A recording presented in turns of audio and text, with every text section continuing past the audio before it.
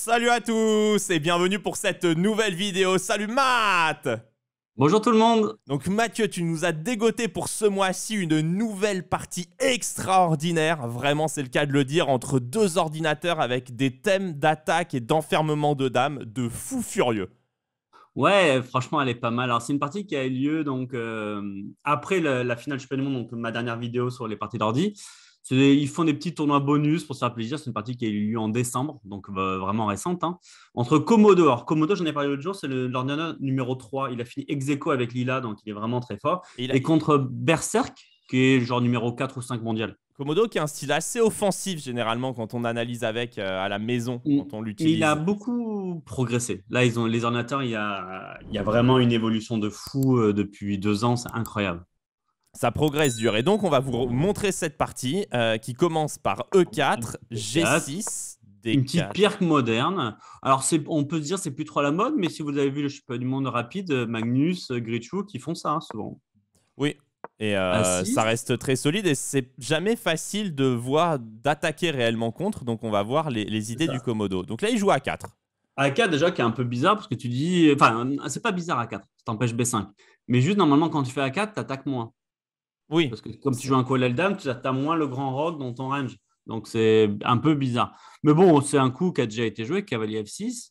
C'est le coup principal dans la base. Hein. Fou 2, bah, pourquoi pas, rock, cavalier F3. Donc là, il joue très tranquille. Il, joue, il joue marrant, qu'il y a des parties de Magnus ici. Il joue un peu comme Baki aussi avait joué contre Gritchuk avec le fou en E2, tranquille, tu t'embêtes pas. C'est ça. Et donc là, il y a deux façons de jouer pour les noirs. C'est soit KC6, soit B6. Alors, Carlsen a une partie avec KC6, par exemple. Mais B6, c'est le coup le plus joué dans la base. En fait, on se dit, les blancs vont faire petit rock, on va jouer fou B7, on attaque 4 et ça joue. Et là, il va faire nouveauté H4 dans ta gueule. Donc, c'est hyper bizarre, ça va pas. Enfin, un humain, normalement, il fait pas A4, H4. Mais bon, pourquoi pas. Donc, tu veux jouer H5, enfin, ou du moins le menacer un jour. En plus, généralement, on le met plutôt en H3, ce, pion, pour, empêcher, les cavaliers G4. Ouais. Et du euh. coup, j'ai vérifié, si tu fais KG4, tu as deux façons de jouer. Soit tu fais H5 et tu acceptes la prise, soit j'aime bien le fou C1. Tu caches ton fou et tu prépares H5 au prochain. Et après, tu fais KG5, quitte à revenir après en E3. Ouais, c'est si le cavalier revient en F6, on pourra revenir en E3 et sinon tu vas jouer pour H5. Et si les noirs font H5 eux-mêmes, bah, tu vas jouer cavalier G5. Toujours KG5, c'est ça. Et, on va jouer euh, F3 et revenir en E3. D'accord. Ça, c'était KG4. S'il faisait H5, on refait KG5. Sur H4 s'il fait H5, on fait KG5, exactement la même idée. L'idée, c'est qu'on se libère cette case et on va jouer F3, Dame D2, peut-être D5 à un moment pour, les, parce qu'il y a des trous. Et du coup, le KG5 est très difficile à déloger maintenant. Bon, dans, la, partie... il n'a pas paniqué du tout, Berserk, il a joué euh, KD7. Même parce que finalement, les pièces blanches, elles sont pas forcément super bien placées euh, pour l'attaque. Comme tu le dis, on a perdu un coup avec euh, A4 d'un côté, et de l'autre côté, on a ce fou en E2, du coup, qui tape pas vraiment sur le rock, qui serait mieux placé en C4 pour attaquer. Hmm. Bah, alors, il a l'utilité de contrôler un peu les cases G4 H5, mais euh, au-delà de ça, c'est pas grand-chose. Donc là, il a joué Dame D2 pour jeu x6 thématique. Alors, je vous le montre pas, mais il y a une magnifique partie entre ordi de Stockfish en 2021 où il avait joué H5 et gagné. Mais bon, on va se concentrer sur la partie. Il joue Dame D2, fou B7, hyper évident, attaque 4. Et là, c'est parti, il envoie H5. Donc, il protège ah. pas le pion E4. Il protège envoie... pas le pion E4 il envoie H5. Euh, dans la partie d'ailleurs, il va prendre. Alors, si tu prends H5, on peut juste montrer que c'est quand même très dangereux parce qu'on fait fou H6. On menace, par exemple, directement, tour prend H5 et Dame G5 et c'est mat. Puis on prend les Dame G5, alors on va jouer un coup euh, à la cour. Alors, ouais, ça, tu peux le montrer, c'est mat. C'est un thème connu. Euh, important. De, important à connaître d'ailleurs. Connu et important à connaître. Donc, cavalier H5 x H6. Cavalier DF6, ça c'est un bon coup de défense pour venir protéger. Et là, il y a plusieurs façons de gagner. On peut en montrer, mais j'aime bien un grand rock en mode on veut jouer genre tour G1, G4. Et on a juste mis une variante pour illustrer comment ça mat, par exemple, prend un 4. Donc ce pion est en prise, il faut toujours se méfier quand même. Prise, prise, prise. Fou prend G7, roi prend. On va dire que les noirs tentent de garder la, colonne fermée. G4. Ça, c'est vraiment la manière classique d'attaquer euh, qu'on a tous appris à l'école d'échecs. Cavalier F6, on ramène la dame en H6, on fait échec, le roi part et cavalier G5. On ne on craint pas de laisser la qualité en H1, on reprend et on va mater. Donc on voulait vraiment vous montrer cette mmh. variante pour que vous ayez, entre guillemets, l'attaque classique. Euh, et, maintenant, on va voir quand c'est un ordinateur qui défend en face. parce que Pas classique. voilà, c'est ça. Ça, c'était vraiment le classique. Bon coup. Il fait qu'il prend un 4, euh, ben, logique. En fait, il gagne un pion et en plus, il gagne un temps sur la dame. Donc, KE prend un 4 obligé, fou prend. Donc, il fait x6. Donc, encore une fois, moi, j'appelle ça l'attaque ouvre-boîte. Hein. C'est comme ça que je l'ai appris par mon entraîneur quand j'étais gamin. Cavalier F6, encore une fois, vous voyez, ce thème est classique pour les noirs, c'est pour revenir défendre le pion H7. Et là, l'idée des noirs, c'est intéressant, c'est que H prend, on fait fou prend. Et du coup, ça vient bétonner le roi, ils ont un pion de plus. En fait, il bétonne les cases blanches et il te dit tu passeras pas. En fait, je vais défendre H7 bec et ongle et tu réussiras pas à le manger. Moi, perso, je vois ça, je me dis ok, j'ai du jeu, mais je suis pas sûr d'être mieux avec les blancs, pas du tout. Ouais, c'est pas clair. Ça joue quoi. C'est un pion de un pion de moins avec les blancs, mais tu as de l'attaque quoi. Il joue cavalier H4, bon, qui est pour moi pas complètement évident, mais je peux comprendre. Dame D7, hyper logique. Bah, il sort la dernière pièce, euh, la dame peut trouver du contre-jeu quelque part. Et là, c'est parti. Là, il va jouer un, coup fantastique, mais bon, ceux qui ont vu la vidéo de Vlad vont le trouver assez facile. Il fait tour à 3. La tour hyper Il justifie euh, le A4 d'ailleurs. Et au passage, normalement, on fait grand rock pour ramener la tour. Mais ici, grand rock, il y aurait eu dame prend A4, menace mat. Donc autant faire. je vais le montrer. Hein autant faire tour à 3 pour ramener la tour sans que le roi soit trop faible. Mais ça, ça ce qui est extraordinaire, c'est qu'on vous a parlé, et, euh, et, pas pour rien, de ce coup A4 en début de partie, qui n'était pas un coup d'attaque normalement, et qui faisait qu'on perdait un temps sur notre jeu à l'aile roi. Euh, et quand on faisait grand rock, en plus, on s'était affaibli le roi. Donc on avait dit, ça se marie pas très bien A4 avec une attaque contre le roi noir. Et là, on voit toute la finesse de l'idée 7 ou 8 coups plus tard de ce A4 qui en fait va laisser le roi en E1 et passer la tour via A3 pour aller en G3 ou H3. Et ça, c'est déjà extraordinaire la profondeur du jeu. C'est dur. Hein. Euh, là, il a joué Dame C6, qui est pour moi le coup humain. il y a aussi Glorny propose Cavalier E4, mais ça donne quand même un avantage blanc, même si c'est pas si simple. Hein. Dame C6, c'est logique, parce qu'en fait, il me laisse Dame prend C2. Et, donc, euh, tu n'as pas trop envie de jouer Roi D1 pour défendre. Tu n'as pas envie de jouer C3 parce que la tour passe plus. Donc, il fait tour G3. Très bien joué. Il joue sur le clouage, sur Dame prend C2. il empêche parce qu'il y a G7 en prise à la fin. Tour prend G7. Donc tour G3, là, ça va, les complications vont arriver. Il fait Dame prend A4, qui est le meilleur coup. L'idée, c'est de trouver du contre-jeu. Ça gagne un pion et ça va chercher du tour 1. Fou prend G7. Et là, les noirs vont être très précis. Ils, ils, font le coup intermédiaire Dame à échec. On peut montrer, roi prend G7 aurait, enfin, perdait tout de suite à cause de Dame H6, qui est comme une idée magnifique. Donc, ce roi prend, il y a cavalier F5, double échec et mat. C'est beau. C'est beau, ouais. Donc, il faut jouer roi H8 pour se planquer. Et là, le gain, c'est K prend G6, F prend, et là, un coup important, fou D3. L'idée, c'est qu'on se donne de l'air pour le roi, et en fait, on va prendre du fou en G6 au prochain et péter en H7. Tu ne peux pas défendre. on va, ça, gagne. On va voir trop d'attaques sur les cases blanches. Le roi est trop faible. On va voir que Dame 1 est simplement une amélioration, donc on va pas aller plus loin dans cette variante-là. Dame 1, il force fou D1. Alors, on ne peut pas échanger les dames quand on attaque. Ce serait débile d'échanger les dames, comme tu le dis, on a l'attaque. Fou D1, roi prend G7. Et là, on va se dire, OK, on va voir ce qui se passe sur Dame H6. Dame H6 ici ne gagne pas. Roi H8. Et si on fait K prend G6 comme tout à l'heure, F prend, mais maintenant, on n'a plus le fou D3. Donc, si on va chercher le pion tour F7, et l'ordinateur dit que les noirs sont même gagnants, parce qu'il y a Dame prend B2 qui arrive, et on n'a plus d'attaque sur le pion H7, parce que le fou de, case blanche, notre fou D1, ne peut pas venir attaquer euh, le pion H7. Donc, ça, c'est toute l'idée. C'est toute l'idée. Donc, du coup, à la place de. Donc là, Damachis ne gagne pas. Et donc là, c'est là l'idée pour moi fantastique de la partie. Il va faire euh, ben, la deuxième hyperloop. Tour HH3. c'est hallucinant. Avec l'idée. Ah, il y a deux idées. Euh, la, une, la première idée la plus simple, c'est qu'on peut peut-être, dans une variante avec Damachis, remettre cette tour sur G3. Donc, ça, ça l'idée entre guillemets facile. Mais la deuxième idée qui est quand même plus belle, c'est qu'on peut gagner la Dame à 1. Ça, j'ai jamais vu cette idée. Jamais. jamais vu de ma vie. En fait, l'idée, c'est de faire tour A3, dame B1, B4 et tour HB3. Et on gagne la dame. jamais on vu. ferme la dame. Et euh, bah, donc, on peut, on peut, le montrer. Hein. Disons roi G8. Ah, ouais, roi G8. On prend G6 une fois. Tour A3 attaque la dame. Donc, on peut pas prendre en B2. Tu seras enfermé direct. Là, c'est tout de suite donc, fini. tu joues dame B1.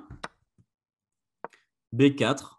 Avec l'idée tour HB3, gagne la dame tu es obligé de jouer genre cavalier E4 pour essayer de trouver du contre-jeu, mais je te fais dame H6 intermédiaire, menace m'attendant.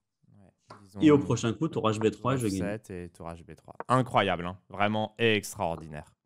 c'est incroyable. C'est fou. Tour H3, c'est. Ok, no comment. Euh, et donc là, bon, mais le c'est que c'est un ordi qui défend. Donc, il Alors, tu peux montrer une ligne. Vas-y, désolé. A5, avec l'idée d'empêcher le B4 à la fin. Sauf que là, je te fais dame H6. Je refais le thème. Tu refais roi H8. Cette fois, je prends de la tour plus fort. Puis on prend, K prend roi G8, je prends E7, roi F7, et là, l'hyperloop, la tour coulisse en F3. Et ça, ça va gagner. Ouais. Roi E7, tu peux montrer. Je vais montrer la ligne. Menace C4 mat. Bon, après, j'ai analysé. En fait, c'est juste gagnant. C'est mat en 9, là, d'après l'ordi. Mais vous voyez, donc tour H3, menace d'enfermer la dame et menace aussi de. La tour rentre dans le jeu en G3 ou en F3. disons roi D5, euh, dame B5, B5 B4 et C3. C4, c'était pas mat direct, hein, mais c'était, ça faisait mat dans une variante. Euh, bon, ça, c'était pour montrer la deuxième idée de tour H3. Et lui, il va jouer tour B1, dame B1, pardon. mais, là, hein. mais là, du coup, la variante avec dame H6 ne va plus marcher. Euh, non. Parce que à la fin, euh, il y a tour AE8 et tu as un problème à un moment pour, dans ton dame B7, dame B4. Alors j'avoue que là, comme ça, je me rappelle même plus quelle est la différence. Bon, il y a une différence. Euh, croyez En fait, il va juste inverser les coups. Vous allez voir ce qu'il va faire, c'est beaucoup plus malin. Dame prend B6, roi D5. Et là, cette fois-ci, ça mate plus. Euh, peut-être qu'il peut n'y a plus un dame B5 parce que le pion est en A6. Ah oui, voilà, c'est ça. Bah, c'est exactement ça, ouais. Le pion est resté en A6 et là, il n'y a plus mat. Bon, j'ai envie de te dire, c'est la variante crois-moi, frère. Ouais, non, en plus, t'as raison, je pense. Ouais, mais ça il, va jouer B4, il va jouer B4 pour me dire maintenant, je renouvelle la menace. Donc Damien, il va faire B4. Euh, maintenant, il renouvelle la menace tour A3. Tour A3, tour B3. Tour A3, tour B3. Euh, par exemple, si tu fais n'importe quelle couche, fais tour A3 et t'abandonnes. Genre tour, euh, disons, tour A B8, tour A3, tour B3. Bon. Donc du coup, il fait A5 pour pouvoir se donner une case de sortie. Ouais. Et là, c'est reparti. Dame H6. Roi H8 tour prend G6, donc il sacrifie. Donc on va retourner dans cette variante qu'on a déjà vue entre guillemets deux fois. G8. Et là, un truc incroyable. Il va intercaler tour B3. J'ai vachement de temps à comprendre. Il va jouer tour B3, dame à 1, puis après il va remettre la tour ailleurs. Ça, c'est la partie. Mais en fait, la question, c'est pourquoi il ne fait pas euh, ce qu'il a fait dans la partie. On va, on va, obligé de vous le montrer là. F7. Et là, cette fois, il ne fait pas tour F3, il fait tour G3 d'ailleurs, qui est assez incroyable. Du coup, ça retourne dans cette variante qu'on a déjà plus ou moins vue. Ouais.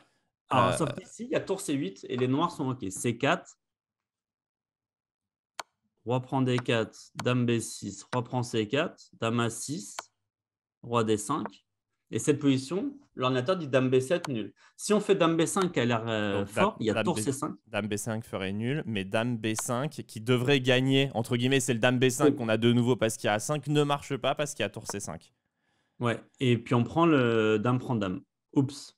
Donc c'est pour ça. Il va faire de la haute précision. Ici, il va jouer tour B3 intermédiaire. Attaque la dame. Seule case à 1. Et maintenant, il va repartir dans la combinaison. Alors à 1 pour, euh, pour maintenir le clouage. Hein, important. Ouais. Oui, ouais. Sinon, le fou va rentrer. D'ailleurs, on va le voir dans la partie. Tour G3. Malin. Si on fait tour F3, il y a dame prendre D4. Donc on défend F6. Donc on est obligé de faire tour G3 pour menacer quelque chose. Donc on euh, menace euh, tour G7. Tu peux le montrer si tu fais dame prend D4. Je veux jouer tour G7.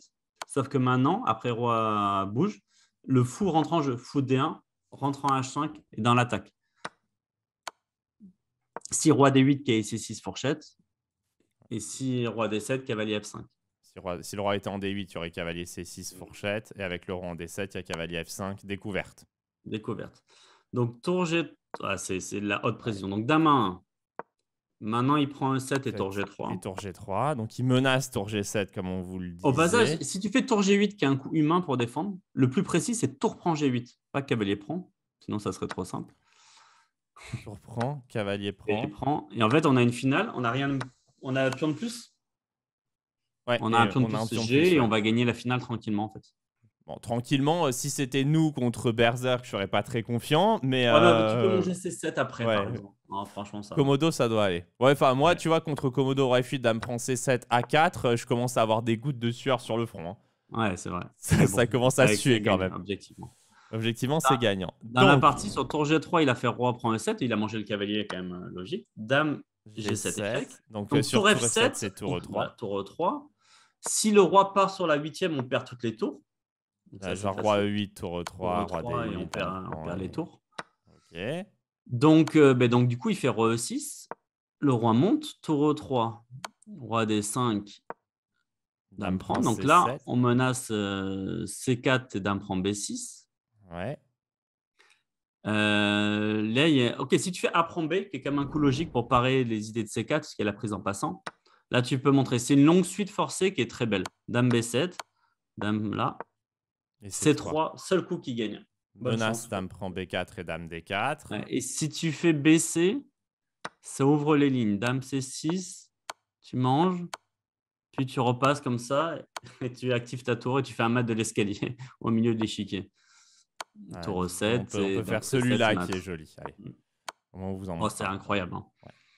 Donc, dans la partie, il a joué le coup le plus logique, tour FC8. Donc, du coup, si tu faisais tour AC8, qui était le coup qu'on avait tout à l'heure, ouais.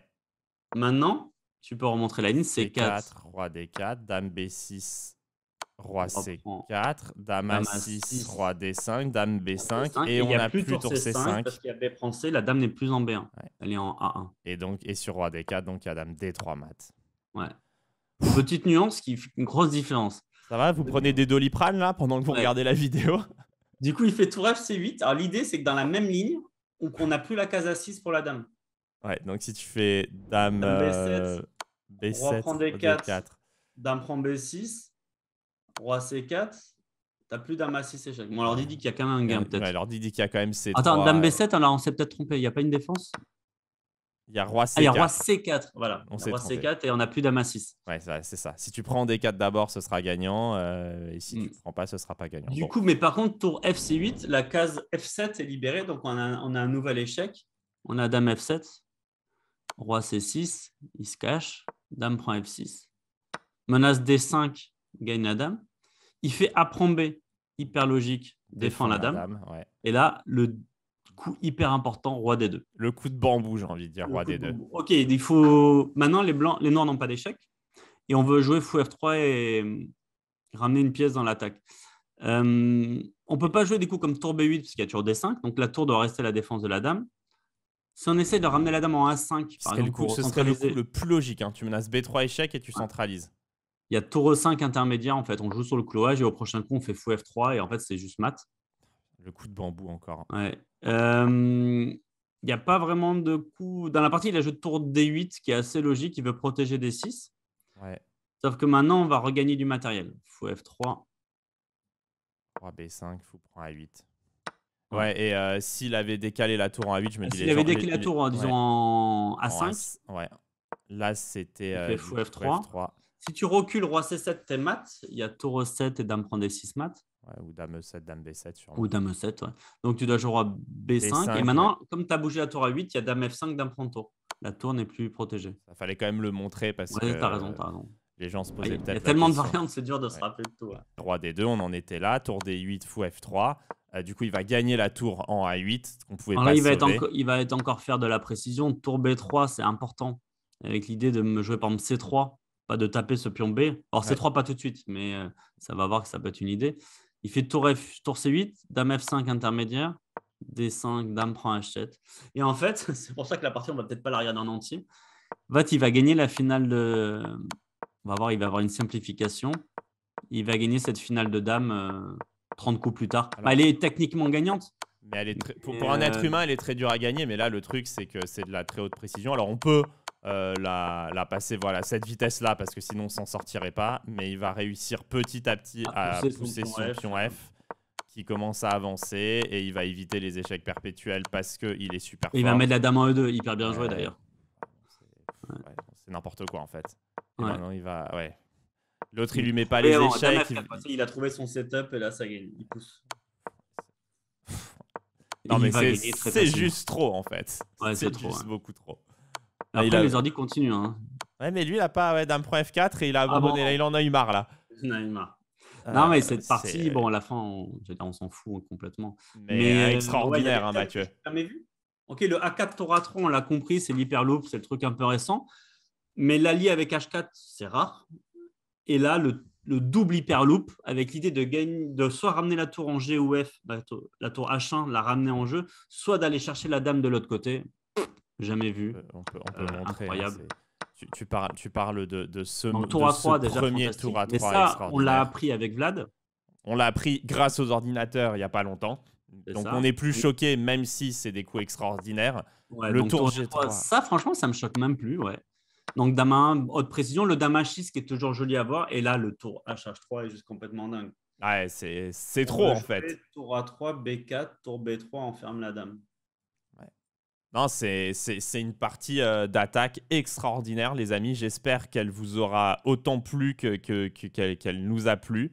Euh, et n'hésitez pas à laisser un pouce bleu si vous avez kiffé. Et Mathieu, on a encore en stock. Il on a, encore deux, trois. Mathieu qui fait le boulot. On a dit qu'on allait essayer d'en faire une par mois, donc ça va, je suis assez, je suis assez serein. On va, on va se retrouver avec euh, d'autres parties très qualitatives et très spectaculaires. On vous dit à très bientôt. Merci à tous. Ciao, ciao.